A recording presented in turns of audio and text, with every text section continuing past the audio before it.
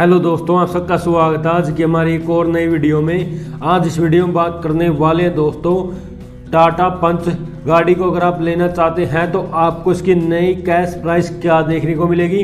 अगर आपका बजट कम है और आपको कराने इस गाड़ी को फाइनेंस पे तो इसी कम से कम डाउन पेमेंट क्या कर सकते हैं? लोन अमाउंट क्या होगी?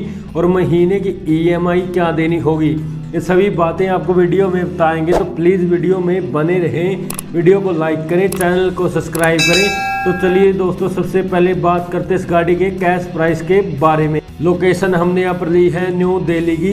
एक्स शोरूम प्राइस आपको छः लाख चौरासी हज़ार नौ सौ रुपये वहीं आर अमाउंट पे करना होगा छप्पन हज़ार आठ सौ बानवे रुपये वहीं इंश्योरेंस चार्ज के लगेंगे छत्तीस हज़ार सात सौ तेईस रुपये वहीं अदर चार्ज देना होगा आपको इक्कीस सौ रुपये सभी टैक्सों को जोड़ने के बाद हमने इसकी ऑन रोड प्राइस को निकाला है। ऑन रोड प्राइस आपको सात लाख अस्सी हज़ार छः सौ पंद्रह रुपये से आठ लाख पंद्रह हज़ार दो सौ रुपये के बीच में देखने को मिल जाती है दोस्तों।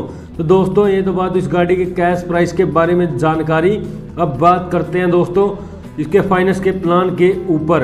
अगर आपका बजट कम है और आप करते हैं डाउन पेमेंट एक लाख पचपन हज़ार रुपये की तो इसकी लोन अमाउंट आपको छः लाख पच्चीस हज़ार छः सौ पंद्रह रुपये निकल के आती है दोस्तों। अगर आप कराते कंपनी बैंक से फाइनेंस और रहता है रेट ऑफ़ इंटरेस्ट नौ परसेंट और लेते हैं टाइम अगले पाँच साल, यानी साठ महीने, इसकी लोन अमाउंट को कंप्लीट करने के लिए तो इसकी महीने की ईएमआई आपको बारह हज़ार नौ सौ छियासी रुपये पर मंथ निकल के आती है दोस्तों। तो दोस्तों, ये तो बात हुई हमारे पहले प्लान के बारे में जानकारी। अब बात करते हैं हमारा दूसरा प्लान जो हमने लिया छः साल के लिए। अगर आप कराते हैं गाड़ी को फाइनेंस पे तो आपको इसकी पर मंथ की ई एम आई ग्यारह हज़ार दो सौ सत्तर रुपये देखने को मिल जाती है दोस्तों।